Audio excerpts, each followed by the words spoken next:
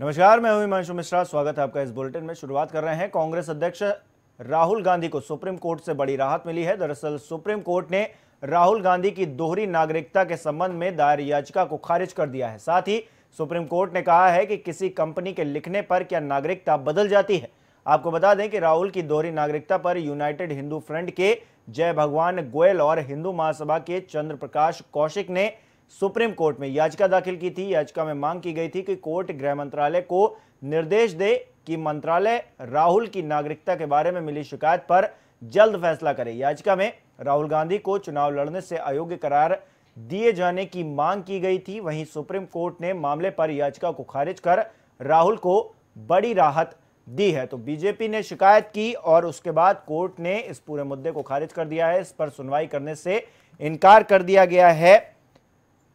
दोहरी नागरिकता राहुल गांधी को लेकर शिकायत की गई थी और इसको लेकर यूनाइटेड हिंदू फ्रंट के जय भगवान गोयल और हिंदू महासभा के चंद्रप्रकाश कौशिक ने याचिका दायर की थी, दाखिल की थी सुप्रीम कोर्ट में, जिसको अब नहीं माना है सुप्रीम कोर्ट ने और उसे खारिज कर दिया है। तो कांग्रेस अध्यक्ष राहुल गांधी को इस वक्त बड़ी राहत, दोहरी नागरिकता के मामले में उन्हें अब जो याचिका दायर की गई थी, उसे खारिज कर दिया गया है और कोर्ट की तरफ़ से कहा गया है कि क्या किसी कंपनी के लिखने पर नागरिकता बदल जाती है।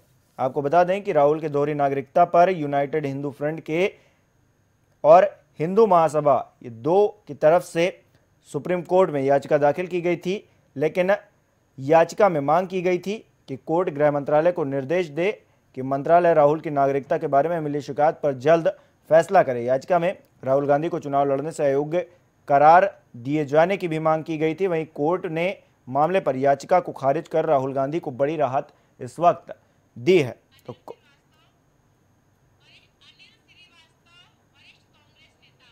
और अनिल श्रीवास्तव, वरिष्ठ कांग्रेस नेता हमारे साथ फ़ोन लाइन पर जुड़ चुके हैं। अनिल जी, किस तरह से देख रहे हैं? राहुल गांधी को सुप्रीम कोर्ट से बड़ी राहत मिली है। दोहरी नागरिकता के मामले में जो याचिका दायर की गई थी, उसे खारिज कर दिया गया है।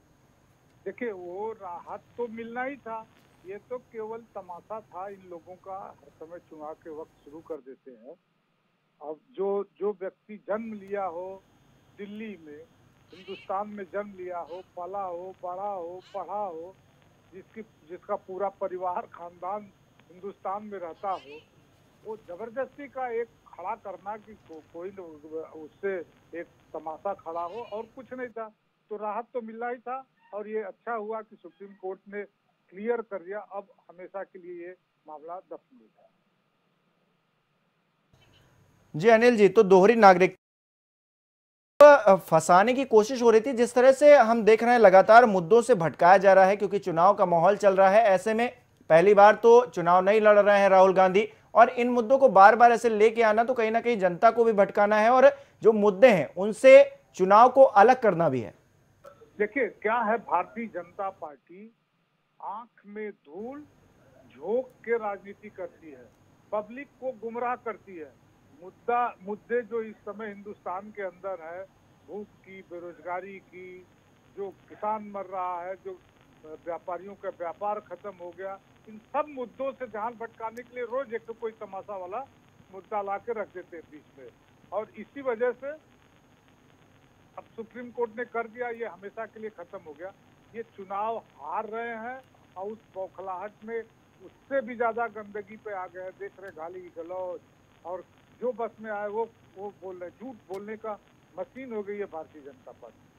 जी अनिल जी, तमाम बातचीत के लिए बहुत बहुत शुक्रिया। तो सुप्रीम कोर्ट से बड़ी राहत मिली है राहुल गांधी को।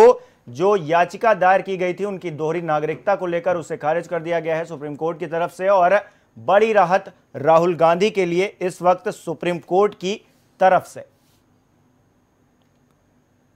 आपको बता दें कि यूनाइटेड हिंदू फ्रंट के जय भगवान गोयल और हिंदू महासभा के चंद्रप्रकाश कौशिक की तरफ़ से याचिका दायर की गई थी सुप्रीम कोर्ट में दोहरी नागरिकता को लेकर राहुल गांधी की। उसके बाद उस पर सुनवाई करते हुए आज जो है उस याचिका को खारिज कर दिया गया है और कोर्ट की तरफ़ से कहा गया है कि किसी कंपनी के लिखने पर क्या नागरिकता बदल जाती है। तो कांग्रेस अध्यक्ष राहुल गांधी को सुप्रीम कोर्ट की तरफ़ से बड़ी राहत मिली है।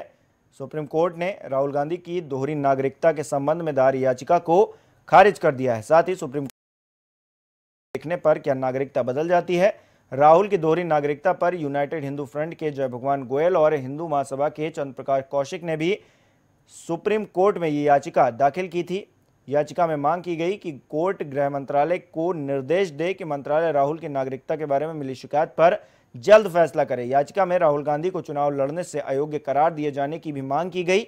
वहीं सुप्रीम कोर्ट ने मामले पर याचिका को खारिज कर राहुल गांधी को इस मामले पर बड़ी राहत दी है। तो बीजेपी ने शिकायत की थी, लेकिन कोर्ट ने उस याचिका को खारिज कर दिया है। इससे पहले भी हमने देखा, जब अमेठी में राहुल गांधी अपना नामांकन कर रहे थे, उस वक्त भी नागरिकता को लेकर विवाद खड़ा हुआ था।